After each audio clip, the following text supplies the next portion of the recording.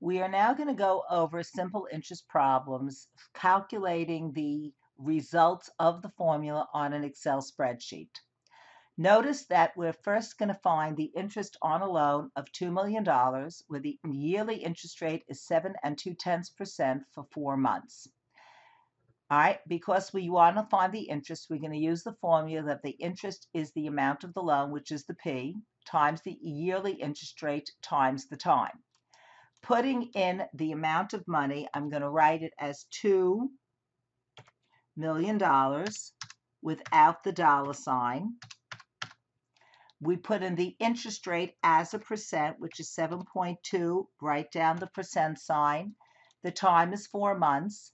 I want this to go ahead and use this as 2 million. So I go where it says under number and I change that to a dollar amount.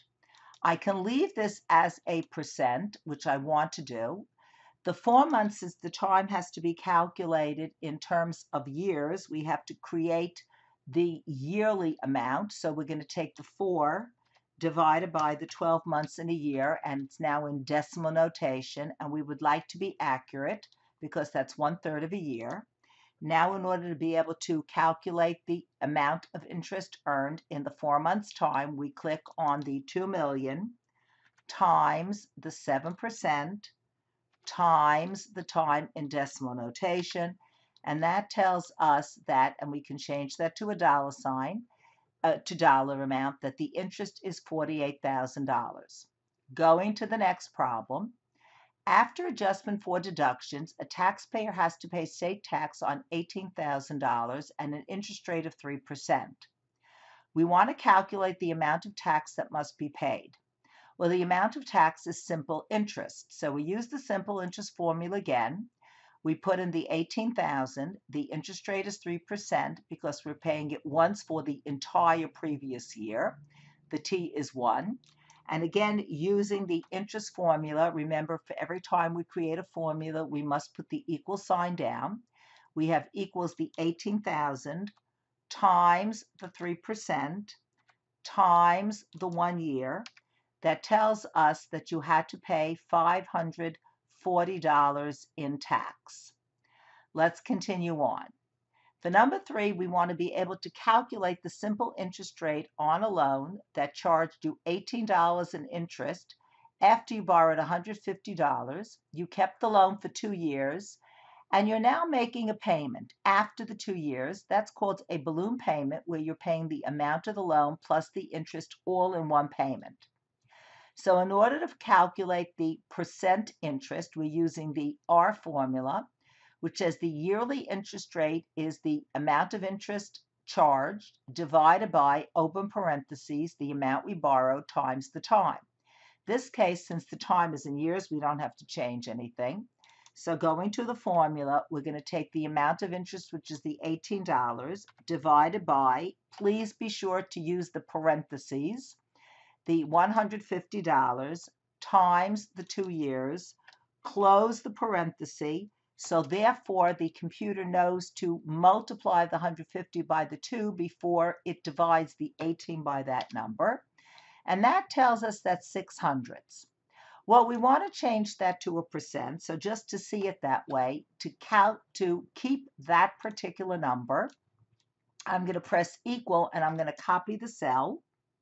And I want to do it that way so it makes it easier.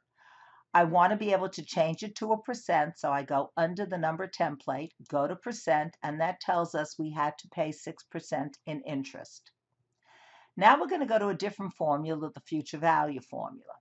Remember, the future value is the same as taking the present value plus the interest, and the interest is PRT.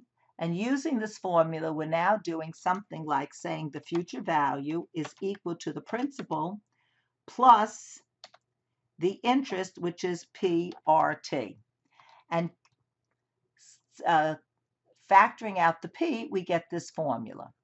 Well, the future value again, using the fact that the amount that we invested is the 3000 times, and you must put the time sign down before you open the parenthesis, otherwise the computer does not know to multiply.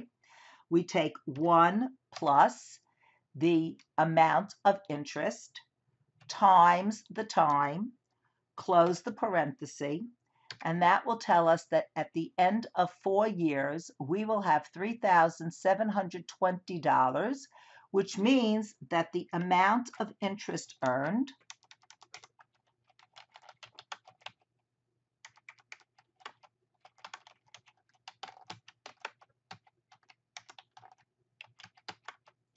is going to be the $720.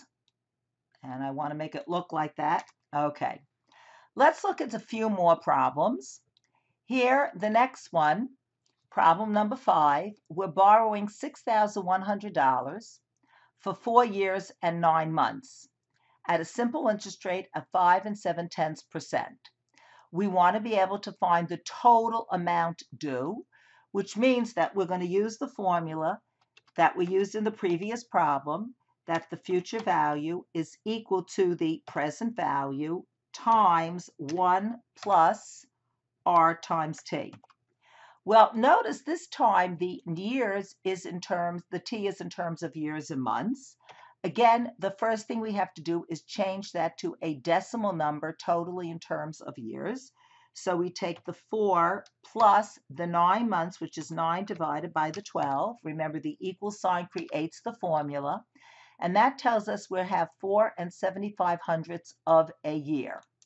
Well, now we can use the future value formula where we take the amount of the loan, which is $6,100, times, open the parentheses, 1 plus the interest rate, which is 5.7%, times the time which we calculated, which is 4 and 75 hundredths, close the parenthesis, and that tells us that in four years and nine months, we will have to pay back $7,751.58. All right? Next, we want to be able to find the present value. How much should we actually invest today if we want to be able to have $10,000 in six years at 8 and 6 tenths percent simple interest? Well, using the present value formula, what we do is we take the future value of the $10,000 that we want to have divided by, remember to open the parenthesis, 1 plus the interest rate, which is, let me make sure I get the 1 there, which the time one plus the interest rate, which is 8.6%, times the six years, close the parenthesis, and therefore, ah, and we want to make sure that we put a parenthesis in front of that one. All right, so sorry about that. Let's make the appropriate correction. And we put a parenthesis in front of the one, and I'm going to do it over here. Let's try that again. And that would be better. And there you see, if you don't put the parenthesis in, it doesn't like to create the formula. And that tells us that we would have to put in $6,596.31. Well, how much interest was earned during the six years? We use the formula that the interest rate is equal to the future value minus the present value. Therefore, we know that the future value is the $10,000 minus the present value, which is the $6,596.31, that the amount of interest that we earned during the six year period was $3,403.69. Well, let's see something. Let's look at this a little bit more. I really want to know how much interest was earned per year. Now, since we're using the simple interest form amount, the simple interest, the amount of interest per year stays the same.